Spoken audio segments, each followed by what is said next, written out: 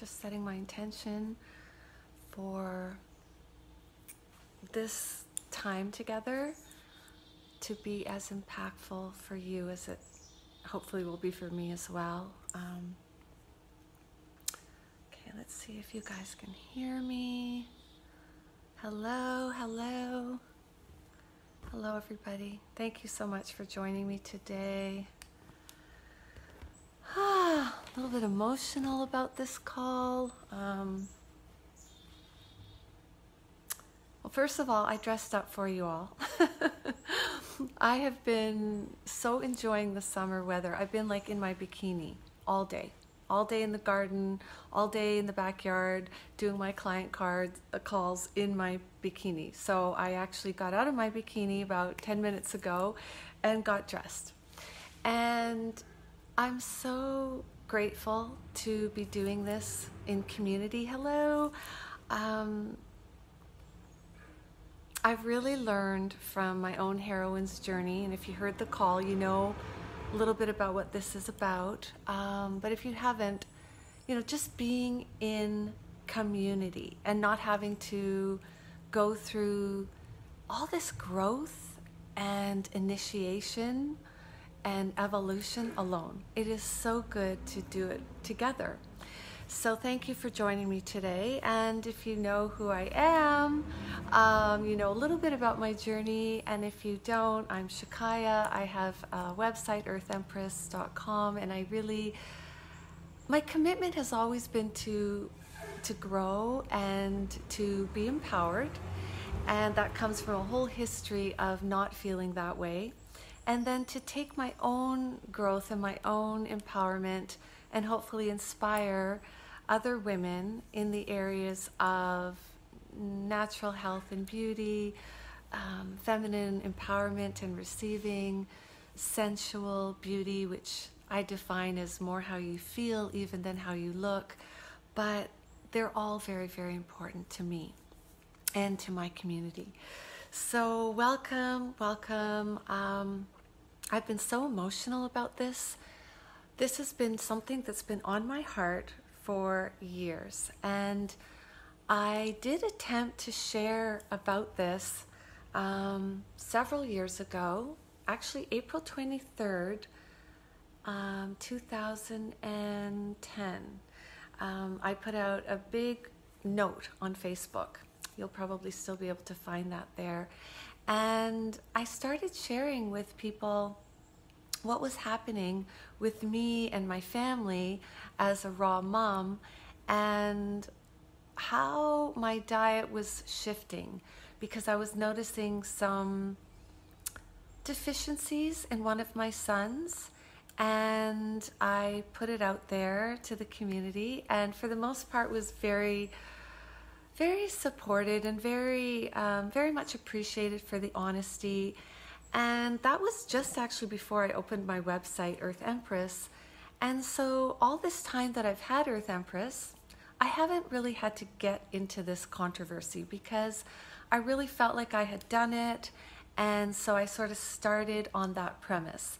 But over the years, as people have come to work with me, um, some of their comments always made me realize is this the perception? Because I wouldn't want to give a false perception. So I wanted to really set the record straight today on where I stand on the whole diet thing, veganism, raw foods, etc.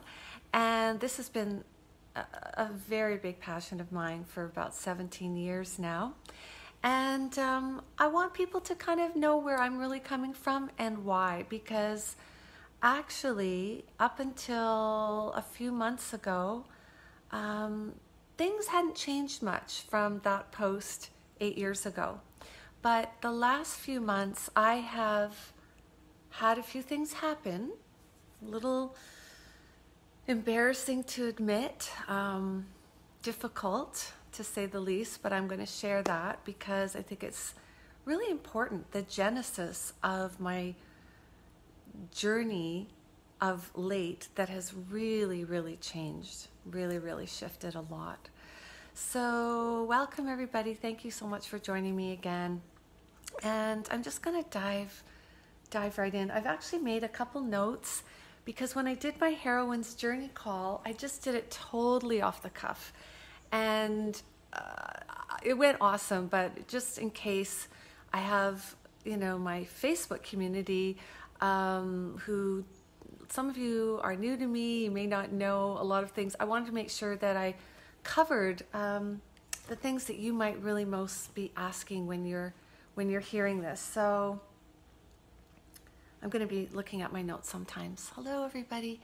Um, so I have been really, really nervous about this, um, but I felt really, really guided to share this. I feel this is so important, and it may fly in the face of what you believe, what you thought I believed. Um, just, if I've described it as being like a love affair that everything was so perfect, I thought. And then all of a sudden it feels like a betrayal where everything you thought you knew and everything you thought you felt and believed and were experiencing, um, suddenly it's not what you thought at all. And something really shift or perception on my end really shifted.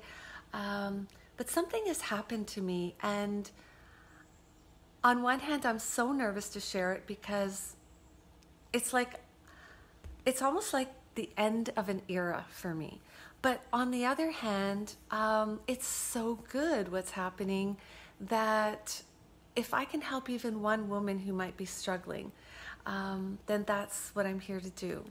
And I have really been struggling. I have had a 30 odd year dilemma, health problem that has been so chronic, so acute, so debilitating, and has caused me and my family a lot of pain. And I wouldn't want anyone to go through that. If I can help anyone go through less suffering, I'm I'm definitely all for that. So um, the the problem, the dilemma, the lifelong issue that I've struggled with with my health I have recently, I don't want to use the word cured, um, maybe I'll say resolved, or at least I'll say I've really impacted it in a major way. And that's why I'm so excited to share this because if you're suffering from what I've been suffering from, then this might really help you. And I'll tell you what that is in a minute. And also, I've noticed this is really crazy because it sounds so superficial and ridiculous, but my cellulite has almost all but gone. Like, where, how, why? I'm not even exactly sure. Have not even been focused on that at all. And yet I've noticed, wow, um, I think that's one of the reasons I've been wearing a bikini so much. I've never done that in my life. Um, my husband's loving it, by the way, but um, it's simply because my legs have never looked better. So, on the one hand, I've had this debilitating health issue. On the other hand, my cellulite has cleared up, and almost everything in between I'm noticing is improving for me. Um, I've really had a long struggle with some of these things, so this is amazing. And I'm not here to sell anything, I'm not promoting anything. I'm really simply sharing which has been my commitment since I started my site, Earth Empress, to really share my experiences honestly and authentically as I can. And if it impacts another in a positive way, then that just makes me super happy. So, thank you so much for being here and for checking this out. And I really do trust that you're going to receive exactly what it is you require right now, which is why you tuned in. So, um, just to make sure that I am on track here, um, I do want to share about what that 35 year journey has been where I've been so, so struggling. My mental health, my physical health in a major way, and that I have shared about on certain blogs of mine and podcasts and interviews. But in case you're new to me, I'll just get you up to speed really fast. And that has been insomnia. I have had the most chronic and acute insomnia every night of my life since I was around 17.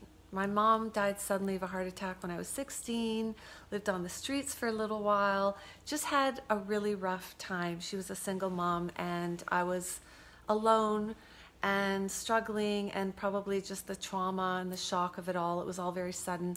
Um, I just became someone who couldn't sleep. Well, I was living in the park for a while, so I had to kind of keep one eye open on the park bench at night. Uh, maybe that's what started it. I don't know. But um, just could not fall asleep for, for all these years. I would get about 10 hours of sleep in a week, which is obviously pretty low, not enough. And I turned to the high raw vegan diet about 16, 17 years ago now it was twofold. One it was to see if it would impact my my sleep issue and my health because i really was struggling. I wasn't very healthy was very um, always getting flus and colds and um, my immune system was just tapped out all the time as you can imagine. But also i had really young children and i really wanted to give them the best start in life so, from everything I'd heard and read, I just was so, so grateful and happy that I'd found this new way of eating.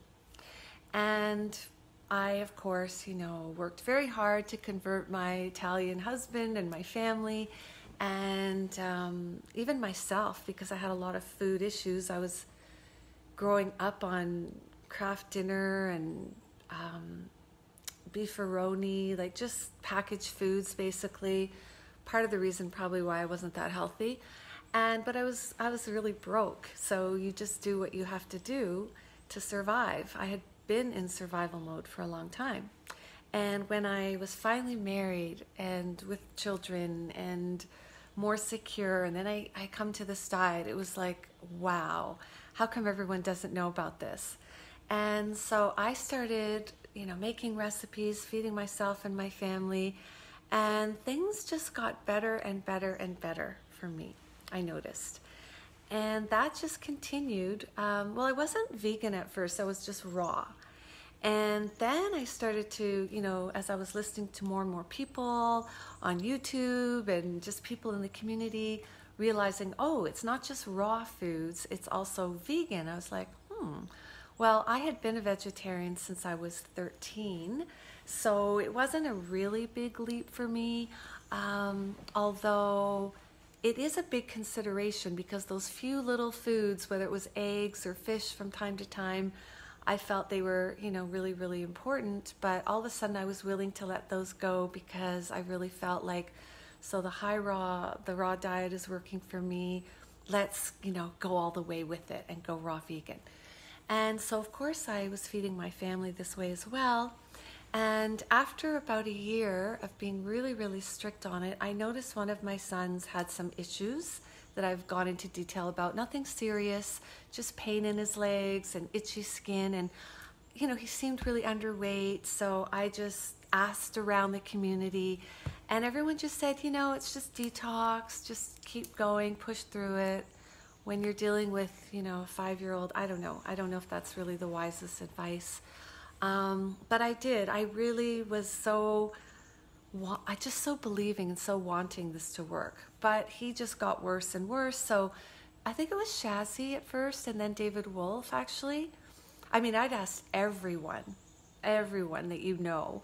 Um, and everyone just said, keep going, you're fine. He should be getting everything he needs on the vegan diet. But it was Shazzie and then David Wolfe who said, try some raw milk. And so within a few days or a week or so, that condition completely cleared up. He was looking and feeling better than ever. And